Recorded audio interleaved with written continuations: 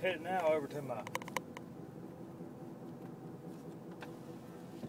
traps I got set out. I got a couple live traps set out. Uh, we done went on our hunt. We had a real good hunt. I was real impressed with my young dog tonight. As you noticed in the uh, clip just before this one, she's really doing some good tree in there and everything. Uh, unfortunately,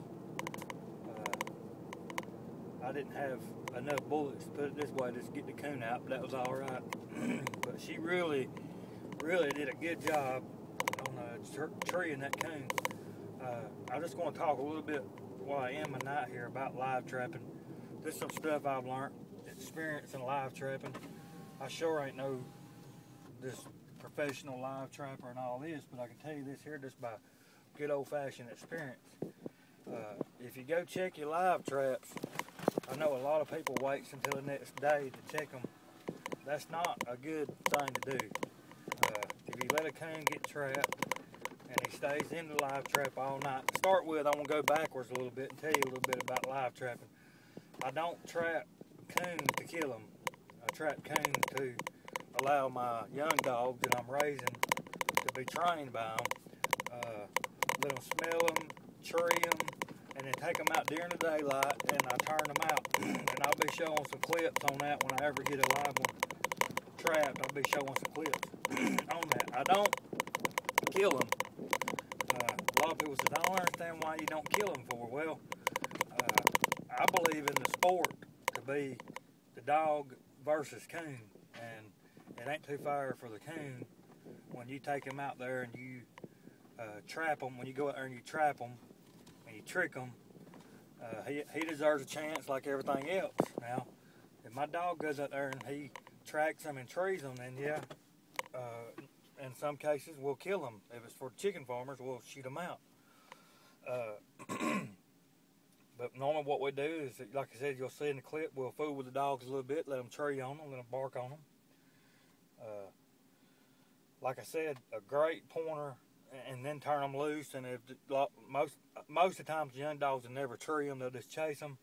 But if you do tree them, we don't shoot them out. We let them we let them live because that's they got trapped. And to me, uh, I, I, believe in in good, honesty, old-fashioned, traditional coon hunting. And if I'm going to do that, I'm going to do it the right way, and I'm going to let the coon have the benefit of the doubt.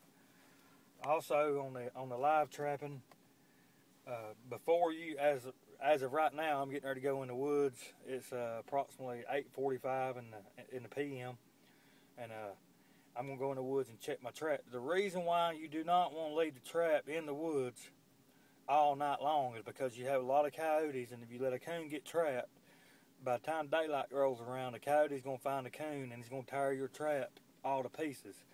Uh, I've learned that by my own experience. Now, nobody ever told me that. Nobody ever gave me that suggestion in live trapping.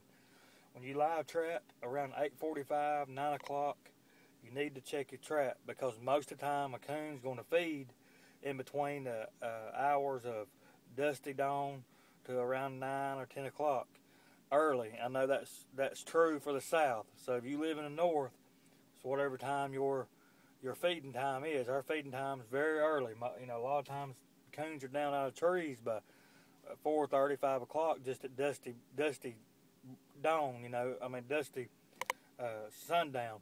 Like it's just dusty dark, getting ready to get dark is when they mostly feed. So uh, I may not have anything here uh, one more suggestion. When you go in the woods, when you trap your coon, use something sweet.